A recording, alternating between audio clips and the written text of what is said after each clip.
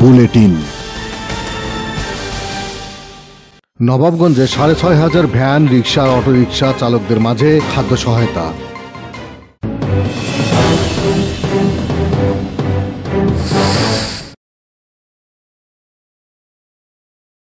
আসসালামু আলাইকুম।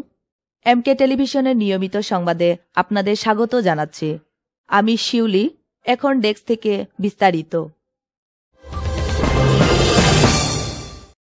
Corona virus বিস্তার রোধে ঘরে অবস্থান করার লক্ষ্যে দিনাজপুরের নবাবগঞ্জে ছয় হাজার পাঁচশত দরিদ্র ও অসহায় ভ্যান, রিক্সা অটোরিকশা ও ভটভটি চালকদেরকে খাদ্য সহায়তা প্রদান করা হয়। উপজেলার নয়টি ইউনিয়নে একযোগে উপজেলা দুর্যোগ ব্যবস্থাপনা ও ত্রাণ মন্ত্রণালয়ের বরাদ্দকৃত দুই হাজার পাঁচশত এবং দিনাজপুর ছয় আসন সংসদ সদস্য সিবলি সাদেকের ব্যক্তিগত তহবিল থেকে চার হাজার চালককে এই খাদ্য সহায়তা প্রদান করা হয়। উপজেলার কুশদাহ, জয়পুর, গোলাপগঞ্জ ও বিনোদনগর ইউনিয়ন পরিষদের সংসদ সদস্য চালকদের হাতে এই খাদ্য সহায়তা তুলে দেন। প্রতি জনকে দশ দিনের খাদ্য সামগ্রী প্রদান করা হয়। এ সময় উপজেলা নির্বাহী অফিসার নাজমুল নাহার ও সহকারী কমিশনার ভূমি মোহাম্মদ আল মামুন প্রকল্প বাস্তবায়ন কর্মকর্তা মোহাম্মদ রেফাউল আজম, থানার officer in charge Ashok Kumar Chauhan উপস্থিত ছিলেন।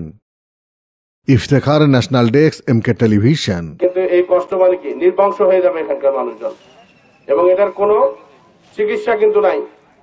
কোনো চিকিৎসা কিন্তু এটার নাই। এবং এটা এই ভাইরাস দেখা যায় না। আমরা কিন্তু হাসি তামাশা করার জন্য এই কাজগুলো করতেছি না। দয়া করে ঘরে অবস্থান করুন ঘরে থাকুন। আজকে আপনাদের যে চালটা প্রদান করা হলো সেটা আপনারা নিয়ে গিয়ে বাসায় দরকার হলে খালি ভাত খান তবু সুস্থ থাকেন। দর্শক এমকে টেলিভিশন সংবাদে বিস্তারিত জানতে ভিজিট করুন W dot M K television dot net এই ঠিকানায়। এছাড়াও সংবাদ ও অনুষ্ঠানের সব ভিডিও পেতে সাবস্ক্রাইব করুন YouTube dot com slash M K television net এবং Facebook dot com slash M K television page শেষ করছি এমকে টেলিভিশনের সংবাদ। এতক্ষণ সাথে থাকার জন্য সবাইকে অনেক অনেক ধন্যবাদ।